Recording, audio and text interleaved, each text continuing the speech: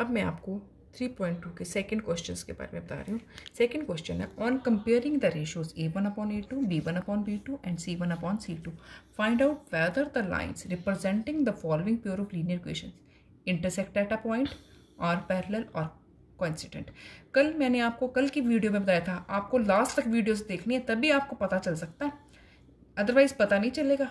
यदि आप बीच में नहीं देखे, बीच में ही छोड़ देंगे, लास्ट तक नहीं देखेंगे, आपको टॉपिक से रिगार्डिंग नेक्स्ट से कुछ पता नहीं चलेगा। प्लीज़ इंश्योर मी कि लास्ट तक आपने वीडियो देखी है राइट मैंने जो कल बताया था, उसी के बिहाफ के ऊपर मैं आगे बता रही हूँ।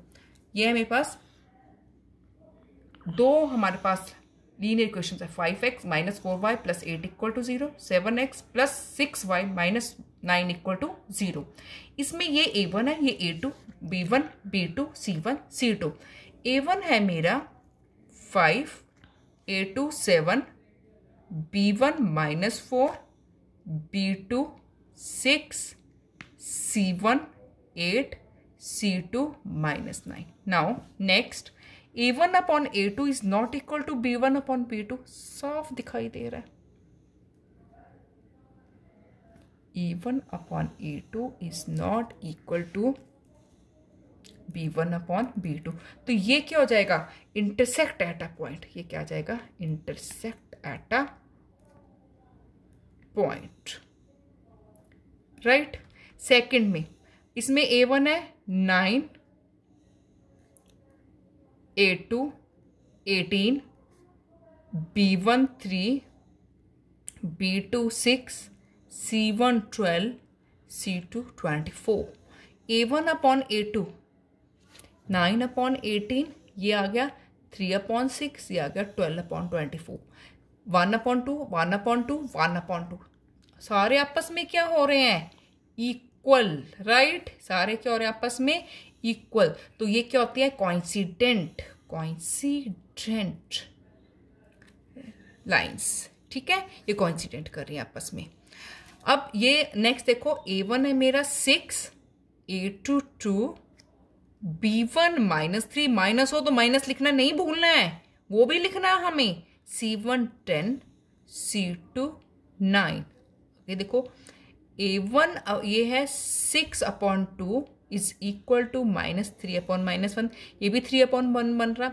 यहाँ क्या आ जाएगा? टेन अपॉन नाइन ये दोनों तो आपस में इक्वल आ रहे हैं, पर इसके इक्वल नहीं है। ठीक है? तो क्या लिखेंगे? A one upon a two is equal to b one upon b two but not equal to c one upon c two तो ये क्या होती हैं? पैरल लाइन्स ये क्या होती हैं? पैरल लाइन्स क्लियर अब देखो third question on comparing the ratio a1 upon a2, b1 upon b2 and c1 upon c2. Find out whether the following pair of linear equations are consistent or inconsistent. मैंने कल आपको ये बात बताई थी last तक ये बता के आई थी मैं एक ही चीज़ पे आई थी टेबल टेबल में था यदि इंटरसेक्ट कर रहा है और कोइंसिडेंट है तो वो कंसिस्टेंट है पैरेलल है तो वो क्या है इनकंसिस्टेंट राइट मैं इसके ऊपर बेस्ड दो क्वेश्चन बता रही हूँ बाकी आप खुद कर सकते हैं देखो अगेन सेम यदि क्या क्या इंटरसेक्ट एट ए पॉइंट आ रहा है इंटरसेक्टिंग लाइंस है या कॉन्सिडेंट लाइंस है तो वो क्या है? कंसिस्टेंट यदि वो पैरेलल है तो वो क्या है? इनकंसिस्टेंट राइट तो ए वन इसमें आया मेरा थ्री ए टू मेरा आया two b one two b two minus three c one five doesn't matter मैं यहाँ ले जाती हूँ तो माइनस फाइव ये भी माइनस सेवन ये मैटर नहीं करता, मैं इक्वल टू किस तरफ़ भी ले जाऊँ। बस साइन का ही फ़र्क पड़ेगा, क्योंकि ऊपर नीचे वाला कट जाएगा, वही चीज़ बच जाएगी। ठीक है? तो ये क्या आ गया? A one upon a two three upon two है। ये two upon minus three is not equal to b one upon b two intersecting lines intersecting lines क्या होती है? कंसिस्टेंट क्लियर राइट अब आगे आ जाओ। A one two a two four b one minus three b two minus six c one eight C2 9.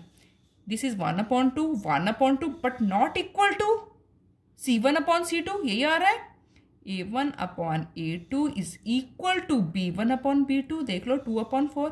यहाँ भी 1 upon 2 बन रहा यहाँ भी 1 upon 2 पर ये नॉट इक्वल है इसके नहीं इक्वल है not equal to c one upon c two parallel lines है पैरल लाइन्स क्या होते हैं इनकंसिस्टेंट क्लियर बाकी के आप थर्ड फोर्थ फिफ्थ पार्ट इसके कर सकते हो। सेम है। अब आगे आ जाओ आप फोर्थ क्वेश्चन पे। फोर्थ क्वेश्चन क्या है? Which of the following pair of linear equations are consistent oblique inconsistent if consistent obtain the solution graphically यदि कंसिस्टेंट है, तभी सोल्यूशन को हमने ग्राफिकली निकालना है अदरवाइज़ नॉट राइट मैं कंसिस्टेंट इनकंसिस्टेंट का अभी तक आपको बता चुकी हूँ।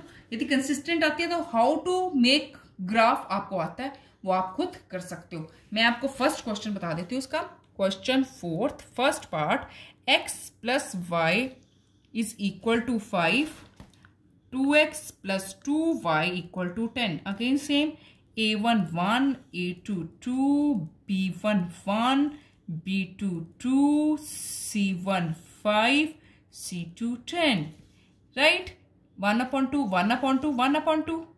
All are equal all are equal means coincident lines तो कॉन्सिडेंट लाइन्स कैसी होती हैं?